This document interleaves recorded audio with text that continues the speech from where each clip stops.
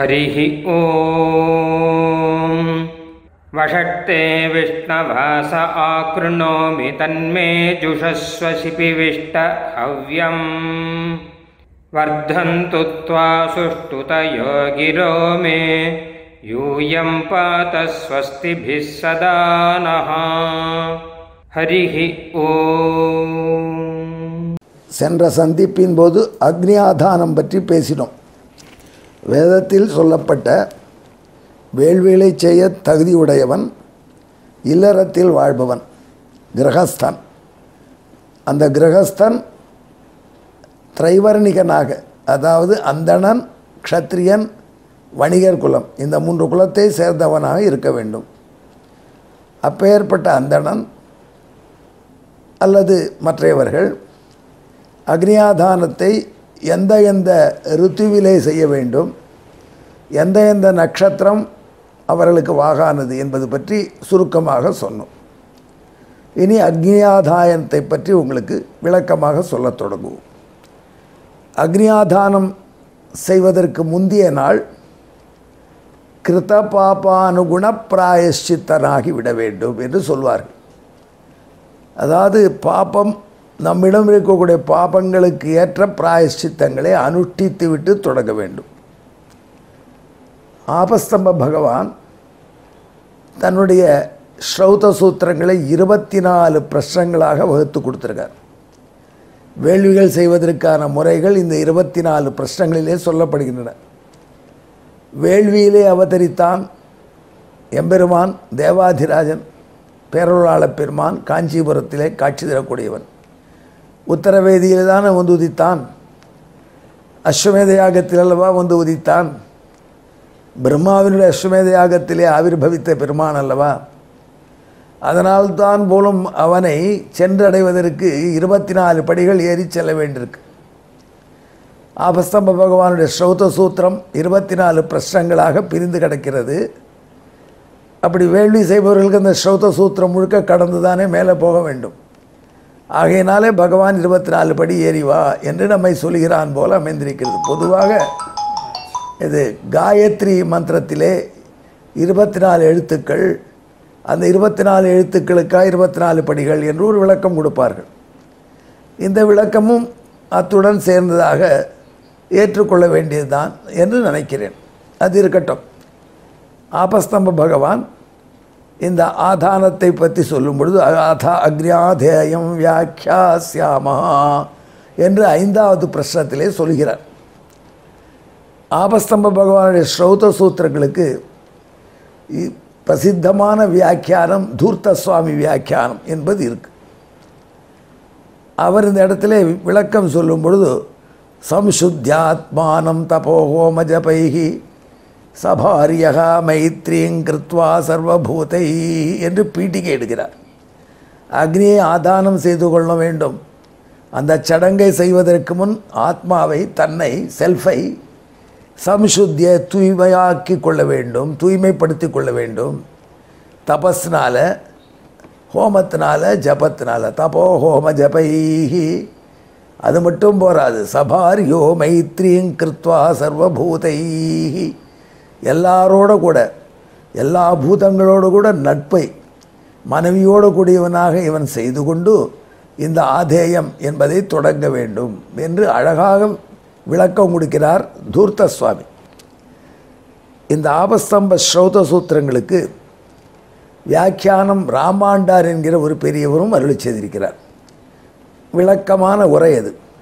அந்த ராமாண்டார் தான் பெரியாழ்வார் என்று நம் பெரியோர்கள் சொல்கிறார்கள். சுவாமி தேசிகனே ஸ்ரீமத் ரகசிய திரேசாரத்திலே கல்பசூத்திர வியாக்கியாதாக்களான என்று பெரியாழ்வாரை சிறப்பிக்கிறார். கல்பசூத்திரத்துக்கு பெரியாழ்வார் வியாக்கியானம் அருளி செய்திருக்கிறார் என்று அதிலிருந்து தெரிகிறது.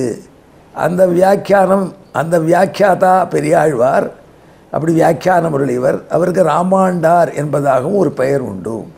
அந்த ராமாண்டார் வியாக்கியானம் தான் பெரியாழ்வார் வியாக்கியானம் என்று எல்லாரும் கொண்டாடக்கூடியவராய்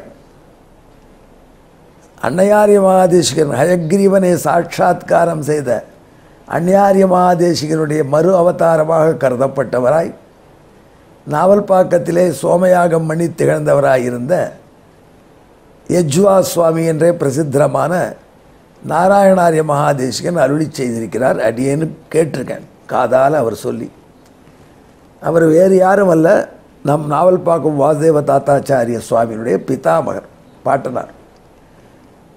அந்த பெரியாழ்வாருடைய வியாக்கியானம் புஸ்தகமாக பிரச்சாரத்தில் வருவதற்கு வாய்ப்பாக அண்மையிலேயே நமது நண்பர் வாஜபேயி யாகம் பண்ணின சுந்தரராம வாஜபேயி மிக பரிசிரமப்பட்டு மிக அழகான தேவநாகரி எழுத்துக்களிலே அந்த இருபத்தி நாலு பிரஷ்னங்களையும் எங்கே எங்கே ராமாண்டார் வியாக்கியானம் என்று கிடைக்கிறதோ அவர்களோடு கூட தொகுத்து வெளியிட்டு வருகிறார். வெளியிட்டிருக்கிறார். இன்னும் ஒன்பதாவது பிரശ്னம் தான் வர வேண்டும்.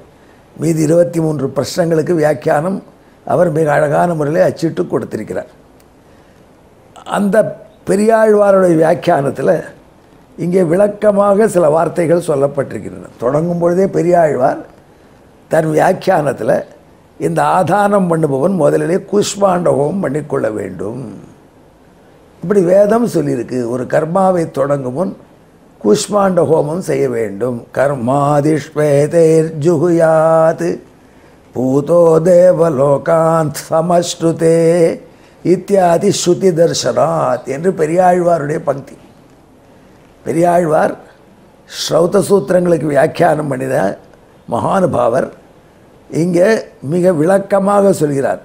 அதாவது எந்த கர்மாவை தொடங்குவதாக இருந்தாலும் அதிலே தூய்மை பெறுவதற்கு கர்மாதிஷு அந்த கர்மாவின் தொடக்கத்திலே ஏதேர் ஜுகியாத் குஷ்மாண்ட ஹோமத்தினாலே ஹோமம் செய்ய வேண்டும். குஷ்மாண்ட ஹோமம்னா என்ன என்று ஒரு கேள்வி வரும். குஷ்மாண்ட ஹோமம் என்பது வேதத்திலே நமது வேதத்திலே தைத்தரிய வேதத்திலே தைத்தரியக ஆரண்யத்திலே இரண்டாவது பிரஷ்னமாக பிரசித்தமாக இருக்கக்கூடியது. அதிலே இந்த குஷ்மாண்ட ஹோமத்தை பற்றிய விவரங்கள் சொல்லப்பட்டிருக்கின்றன. அந்த குஷ்மாண்ட ஹோமத்தை கர்மாவின் தொடக்கத்திலே செய்ய வேண்டும். இன்று கூட திரு தில்லை தீட்சிதர்கள் அவர்களுடைய திருத்தாப்பனார் ஸ்ராத்தம் வரும்பொழுது முதல் நாள் இந்த குஷ்மாண்ட செய்துவிட்டுத்தான் ஸ்ராத்தத்தை செய்கிறார்கள் என்று கேள்விப்பட்டிருக்கிறேன். ஆண்டிலே நாம் பல தோஷங்கள் நமக்கு வந்து சேர்ந்திருக்கும் இந்த வாழ்க்கையில். பித்திருக்களுக்கு ஸ்ராத்தம் செய்வது தூய்மையோடு செய்ய வேண்டும். அதற்காக அந்த ஸ்ராத்தத்துக்கு முதல் நாள் குஷ்பாண்டகம் செய்வதை அவர்கள் அனுஷ்டிக்கிறார். நம்ம சம்பிரதாயத்தில் அன்றைய தினம் பிரம்மகுருச்ச பஞ்சகவியத்தை ஸ்வீகரிப்பது என்று வழக்கம் இருக்கிறது. எவ்வளோ ஆச்சாரசீலனாக இருந்தாலும் எவ்வளோ தூய்மையோடு தான் வாழ்ந்து கொண்டிருந்தாலும் அந்த யாகத்திற்கு ஏற்றபடியாக நாம் இருக்க வேண்டும். ஸ்ராத்தத்தின் மூலம் பிதிரியக்கியம் செய்ய வேண்டும்.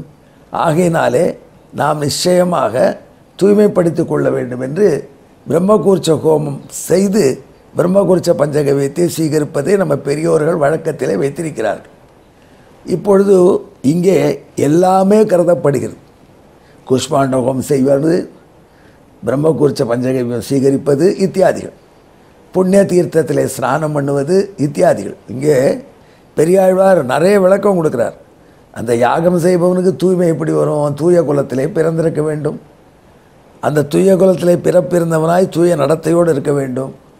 அவன் செய்கின்ற யாகத்துக்கு அக்னி அதனால் தூய்மையாக வரும். அந்த தூய அக்னியிலே இறைவனுக்கு திருவாராதனம் செய்வனுக்கு முடியும் என்று வற்புறுத்தி விளக்கங்கள் நிறைய கொடுக்குறார். அப்பேற்பட்டவர் அடுத்தபடியாக ஒரு வார்த்தையை சொல்கிறார்.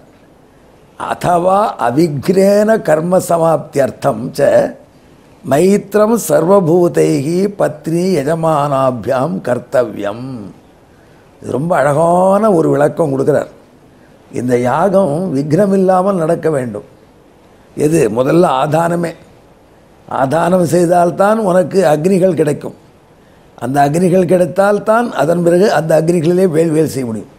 ஆதானம் என்பதற்கு தனியானதொரு பலன் கிடையாது. இந்த மூன்று அக்னிகள் வேண்டுபவர்களுக்கு மூன்று அக்னிகள் கிடைக்கும். ஐந்து அக்னிகள் வேண்டுபவருக்கு ஐந்து அக்னிகள் கிடைக்கும் இதுதான் ஆதானத்துக்கு பலன். அதில் ஆதானம் என்பது தனியானதொரு கர்மா வழிபாடு. அந்த ஆதானத்துக்கு கிடைக்கக்கூடிய பலன் இந்த ஐ- அக்னிகள் சித்திப்பது. ஆனால் இது விக்ரம் இல்லாமல் நடைபெறுவதற்கு அந்த வேள்விசை ஆதானம் செய்து கொள்ள விரும்பக்கூடிய இல்லத்தில் வாழக்கூடிய கிரகஸ்தனும் அவனுடைய பத்னியும் எஜமானனும் அவனுடைய மனைவியும் சர்வபூதைகி மைத்திரம் எல்லாரிடமும் நட்போடு இருக்க வேண்டும். அது ரொம்ப ரொம்ப முக்கியமானது. அது இருந்தாலே பெரிய தூய்மை பெரியாழ்வார் வார்த்தையை பாருங்கள். அத்தவா அவிக்ரேன கர்ம சமாப்தியர்த்தம் ச மைத்திரம் சர்வபூதேகி பத்னி எஜமானாபியாம் கர்த்தவியம். இப்படி செய்ய வேண்டும். மேல் தகவலை அடுத்த சந்திப்பிலே சொல்லும் ஹரி ஓம். பிரம்ம பிரவாதிஷ்ம तन्नो माहासीत् ॐ शान्तिः शान्तिः शान्तिः ஹரிஹ ஓம் நாங்கள் வேதத்தை ஓதுகிறோம் வேதம் எங்களை கைவிடாமல் காப்பாற்றட்டும் ஸ்ரீமதே ராமானுஜாய நமः